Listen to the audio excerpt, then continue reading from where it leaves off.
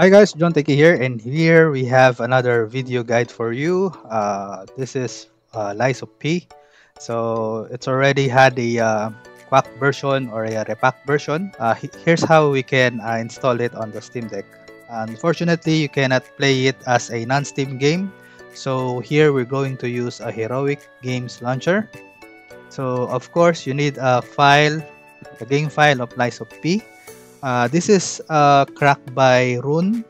So I have the torrent file. If you want the torrent file, just message me on my Facebook page.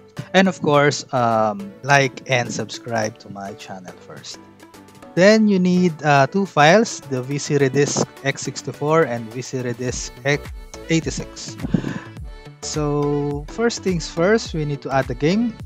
Now you have to type in the title of the game, which is Lies of P. There. Now click this paste and URL image. So it will generate an image. Now here on drop down, make sure you use Proton 743. I tried the uh, Proton Experimental and other Protons and this is the only Proton that works on this game. Okay, then select the executable, check on the folder, find the game. Mine is on SD card, games and lies of p. So here on the exe file lop.exe click it and choose. Then click on finish. And these three lines click these three lines and make sure you're on proton 743 again if you do not have the proton 743 you can go to the wine manager and scroll down and look for the proton 743 which is here so once you have it let's go back to the settings. So there.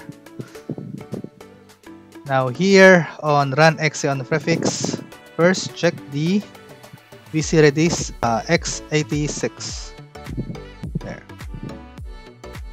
Okay once the installer prompts just install then close then run exe on prefix again. Now choose the x64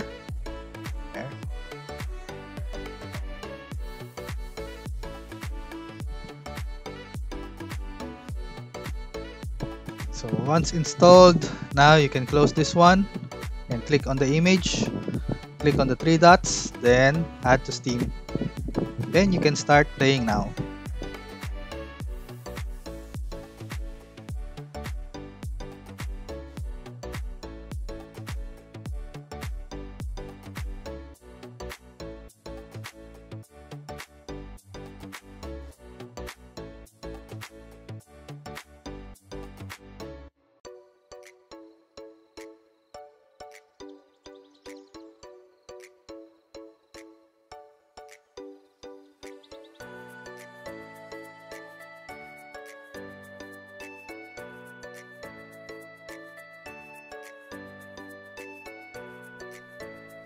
all right so i hope this guide helped you guys again if you need the file just message me on my facebook page please don't forget to like and share And God bless everyone. See you on the next one.